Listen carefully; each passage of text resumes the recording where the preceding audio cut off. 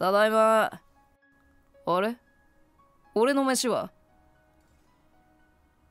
おいなんだよ。どうして無視するんだよ。夫が私に話しかけてくるが私はもう彼を人間として認識できずにいた。だからいないものとして生活することにした。おおい。どうしたんだよ一体。慌てふためく夫。そのまま困り果てればいい私の名前はのぞみ38歳の専業主婦だ。夫のコータとは結婚して12年になる。私たちは合コンで知り合い意気投合して付き合うことになった。年齢は彼の方が4つ上だったのだが同じ大学出身だったので大学の話などで盛り上がったのだ。それから順調に交際を続けていき付き合ってから2年後に結婚。彼からのプロポーズはとても嬉しくて私はとても幸せだった。まだ26歳と若かったが早い方が子供ができた時にもいいだろうと思って承諾した。夫から結婚したら家庭に入ってほしいと私にお願いしてきたので私は寿退社をして専業主婦になった。それからは夫を妻として支えるために一生懸命に家事を頑張った。幸せな新婚生活を送っていた私たちは結婚して2年が経った頃にさらに嬉しい出来事が起きた。それは私が妊娠したことだ。ね妊娠したのか？うん私たちの子よ。ありがとうのぞみ。いや嬉しいな。夫は妊娠をものすごく喜んでくれて私は嬉しかった。それから順調に安定期に入りそして私は赤ちゃんを出産し元気な男の子が生まれた。私と夫は生まれてきた我が子にタクマと名付けた。息子は目がクリッとしてものすごく可愛い周りの人からは女の子かと思われたほどだ。私は毎日子育てをしていてすごく楽しかった。息子がハイハイをしたとか立ち上がったとか歩いたとかそういう新しいことができるようになるたびに親バカのようにものすごく褒めて喜んだ。夫に報告すると夫も嬉しそうにしていて休みの日は息子をあやしてくれた。私は家事と育児に追われて忙しい日々を過ごしていたが週末に夫がちゃんと私たち家族のために時間を作ってくれていたから助かった。その後も私は家庭を支えるために妻として母親として頑張った。夫は仕事でも頼られることが増えていったようで昇進もして忙しくなっていった。息子が生まれてから平日は残業が多くなっていって家に帰ってくるのも夜中になることが多々あった。夫と会話ができる時間が減ってしまい寂しくもあったが週末にちゃんとゆったりとした時間を一緒に過ごせるので我慢はできていたそれに夫が一生懸命仕事をしてくれているからこそ私も息子も安心して日々の生活を送ることができているだから夫にはむしろ感謝をしなければいけないほどだ。毎日文句を言わずに働いている夫を尊敬しているし、私はできる限り支えてあげたいと思っていた。夫婦間にはそういうリスペクトのような気持ちはとても大事だと思う。それから息子もすくすくと成長していき、幼稚園に通うようになるといろいろとお話を聞かせてくれるようになった。今日は幼稚園で何があったとかずっと私のそばで話してくれて私は晩ご飯の準備をしながらそれを聞いているのが楽しかった息子は幼稚園でたくさんお友達ができているようで息子が聞かせてくれる話の中にはたくさんの登場人物が出てくるあまりにも多いのでちょっと聞き流すと誰のことを話しているのかわからなくなるほどだ。夫が帰ってくる時間帯は息子がすでに寝ているので私が息子からこんな話を聞いたと要約して伝えることが多い。夫は「へえそうなんだ」と嬉しそうに話を聞いている。休みの日は親子3人で公園に行ったりショッピングモールに行ったりして楽しく過ごし私たちは幸せな家族でいられていた。だが息子が5歳くらいになった頃から夫の態度に少しずつ変化が現れ始めた。今までは私が息子がこんな話をしていたと伝えるとそうかそうかと嬉しそうに聞いていたのに最近はへえとただ相づちを打っているだけなのだ。あまりにも態度が違うというか冷たいので何かあったと聞くと夫は不思議そうな顔をして何がと聞き返してくる。夫の反応に私も困ってしまった。今までと違うのに何か問題でもという顔をされてはこちらもどうしたらいいかわからない。そして夫は週末も家を空けるようになった。今日は休日出勤なんだ。友人と前々から約束をしていてね。今週は出張だから。そんなようなことを言って土日に家にいることがほとんどなくなってしまった息子は父親である夫と週末にしかほぼ顔を合わせられないのに週末までいなくなってしまったら父親と一緒に暮らしていないのとほとんど同じじゃないか。私はさすがに夫の最近の態度がひどいなと思い話をすることにした。その日は夫は深夜に帰ってきたのだが私は頑張って起きていた。お帰りなさい。えまだ起きてたの？ええあなたに話があって。なんだよ話って。眠いから手短にしてくれよどうして最近週末にずっと家を空けるの？え？もっとタクマとの時間を作ってほしいの。私たち一緒に暮らしているのにあなたとタクマもう1ヶ月も顔を合わせてないわよ。そそんなこと言われても俺は仕事で忙しくて。だったらその仕事を少しはセーブしてよ。何言ってんだよ。そんなことできるわけないだろ。俺は課長としての責任があるし部下が残業や休日出勤をしているのに休めるわけないだろそれじゃあこのままずっとタクマとは会わないつもり？そそんなこと言ってないだろ。だってもう1ヶ月経ってるのよ。一緒に暮らしているのにそんな期間も顔を合わせられないなんてありえないわよ。タクマいつもあなたのこと期待して待ってるんだから今日はお父さんと一緒にご飯食べられるかな？早く帰ってくるかなって。私がどうこうじゃなくてあの子の気持ちをもっと考えてあげてって言ってるの。分かったよ夫はようやくそう言ってくれて自分に非があることを認めてくれた。そしてその週の土日は私たちのために時間を作ってくれた。お父さん今日休みなの？ああだから一緒に遊びに行けるぞ。やった。僕遊園地に行きたい。うんいいぞ。それじゃあみんなで行こうか。夫がそう言ったので私たちはみんなで遊園地に行った。お父さんあれ乗ろう。おういいぞ息子はとても嬉しそうにしていて私はそんな息子の様子を微笑ましく思いながら見ていた。久しぶりに家族でお出かけができて私も楽しかった。またこうやって家族での時間を過ごしたいのだけど無理なのだろうか。夫はいつも忙しそうだし今回は私がかなり行ったから時間を作ってくれたが毎回はやらないだろう。いや今は家族3人で過ごす時間を楽しもう。そう思っていたのだが。あごめん。仕事の電話だ。私たちがフードコートで食事をしている時夫はそう言って席を立った。仕方がないことだが有無を言わさず去っていくのはなんだか寂しかった。今日だけは家族を優先してほしいのに。そして夫は電話をしに行ってから1時間も戻ってこなかった。もう息子は次のアトラクションをしに行きたがっていたので私は息子と一緒に夫を探しに行くことに。だがどこを探しても夫は見当たらなかった。私は慌てて LINE をした。もう電話が終わっててもおかしくないだろう。だが既読はつかない。電話をしてみるとプルルルルという音は聞こえてきた。ということは会社からの電話はもう終わっているということだ。それなら夫はどこに行ったのだろうか。私は何度も夫に電話をかけた。だが一向に電話に出る様子はない。私は諦めて息子と二人で遊園地で遊ぶことにした。息子は悲しそうにしていたがまだ乗っていないアトラクションがあったのでそれに乗りたがっていた。一緒にいろんなアトラクションに乗って夕方前に電車で私たちは帰った。息子は帰りの電車で疲れて眠っていたのでそれなりに楽しめたのだろうが父親が途中でいなくなったのは寂しかっただろう。そして家に帰っても夫はまだ帰宅していなかった。私が再度 LINE をするとようやく晩ご飯前に返事が来た。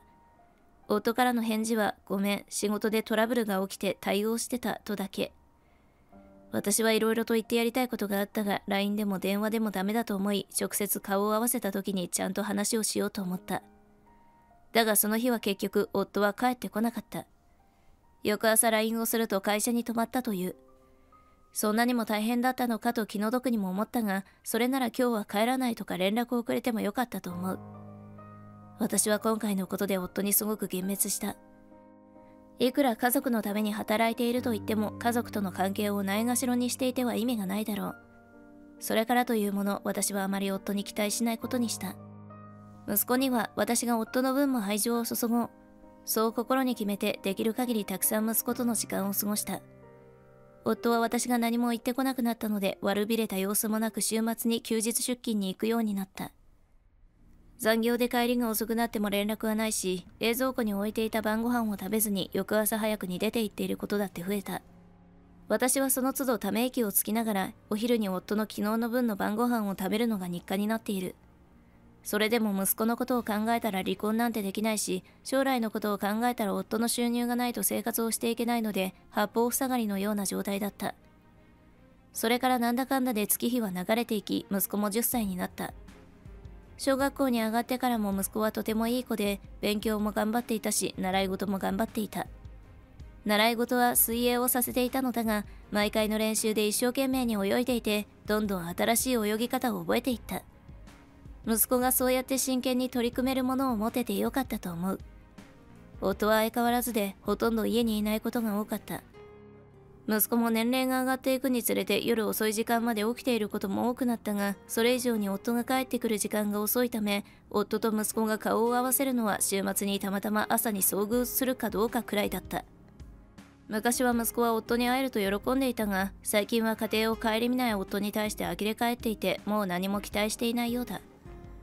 そんな中ある日息子が浮かない顔をして話しかけてきた母さん今日学校の課外授業があったんだけどその時にさ息子はそう言いながらうつむいた。一体何かあったのだろうか。何か嫌なことがあったの？お友達関係のこと？私がそう聞くと息子は首を横に振った。先生に何か言われた？うん違う。それじゃあ何があったの？私がそう聞くと息子は驚きの発言をした。お父さんを見かけたんだ。女の人と小さい子と手をつないで歩いてた。え？私は耳を疑った。それ本当？息子は落ち込んだ様子でうなずいた。私は息子を抱きしめた。辛い思いをしたね。あなたは何も気にしなくていいから。私が慰めたことで息子は少し落ち着いた様子だった。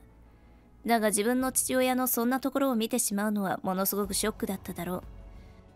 しかも自分はほとんど父親に構ってもらっていないのに見ず知らずの子供は夫と手をつないでもらって遊んでもらっているのだ。そんな場面を見るのは辛かったはずだ。そして私も夫に不倫の疑惑があることがショックだった。たとえ家族とのコミュニケーションは減っても、夫は私たちのために働いていると思っていたからだ。私はすぐに更新所に調査を依頼した。そして1ヶ月ほどの調査の後、驚きの事実が発覚した。それは夫が手をつないでいた子というのは、夫が一緒に歩いていた女性との子供だそうだ。その子はすでに5歳になっているらしく、ということは夫は5年も前からその女性との関係があったことになる。更新所の人から詳しく話を聞くと、さらに驚きの話を告げられた。それは、夫と不倫相手の関係は約10年もあったことだ。私は頭が真っ白になった。10年も前ということは息子が生まれた時のことだ。つまり夫は私に10年も不倫していることを隠して私と息子との生活をしていたのだ。私たちの息子が生まれたばかりの時はまだ不倫相手の子が生まれていなかったから息子との時間を作ってくれていたのだろう。だがそれから5年ほど経って不倫相手との子供が生まれたから私たちのことはどうでもよくなったのだろう。でも離婚をしてしまうと色々と面倒だし、私たちが何も言わなかったから適当に家族を続けていたのだ。夫のありえない本性を知り、私は絶句した。裏切ったどころでは済まされない。二つの家庭を持って何をしたいのだろうか。私と息子のことを騙して本当に最低だ。私は夫の不倫の事実を知ってしばらく放心状態になっていた。それくらい衝撃を受けた。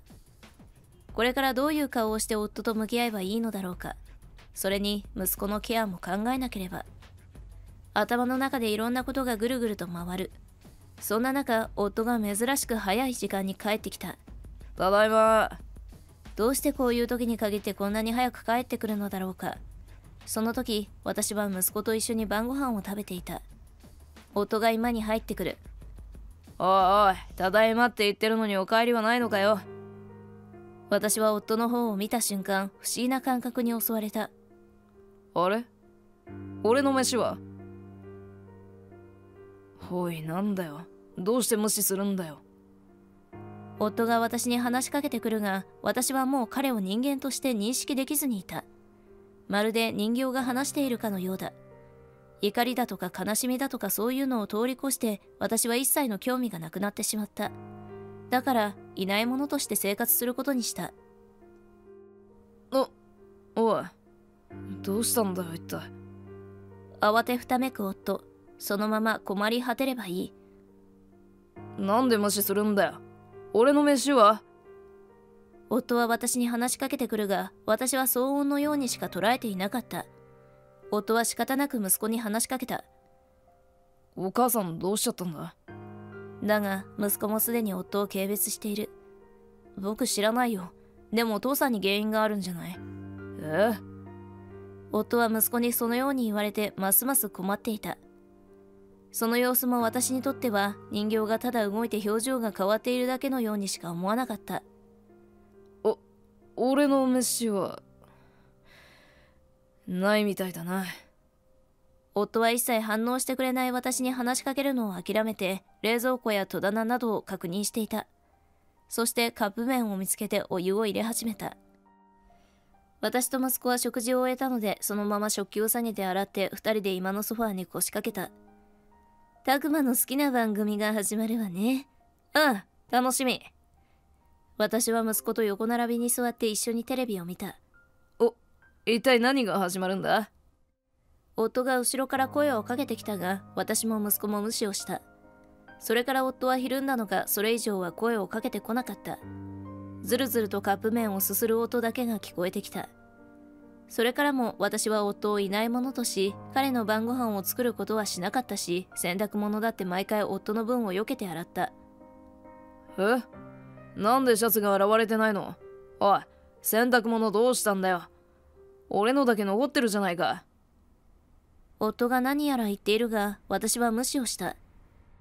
夫はまさかこんな風に無視をされ続けるとは思っていなかったようですごく困惑している。な何なんだよ？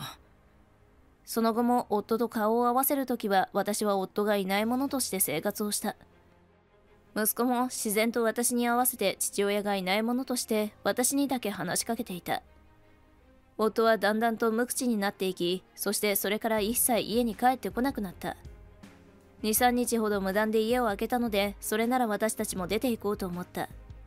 そして息子と一緒に荷物をまとめて実家に帰った。両親には事前に相談をしていたのですんなりと私たちを受け入れてくれた。それから2週間ほど経った頃だろうか夫から電話が来ていた。